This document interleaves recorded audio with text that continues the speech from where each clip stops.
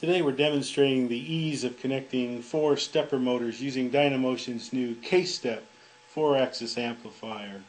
All that's required is motor power, motors, and a USB connection.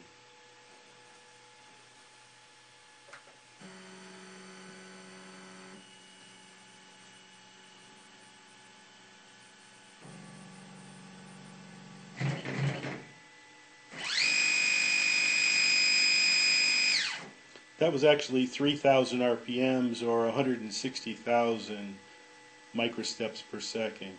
We have four motors here. One is a 3 amp, two of them are 0.7 amps, and this is a size 34 5 amp motor, and we're driving them with a 36 volt 10 amp power supply.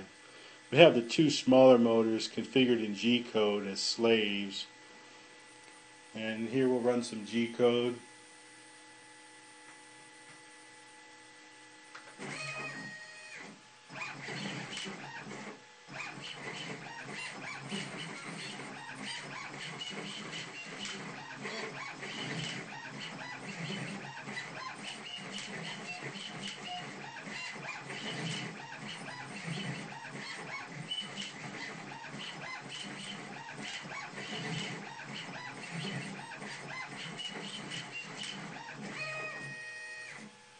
Notice all the motors have returned to their starting positions.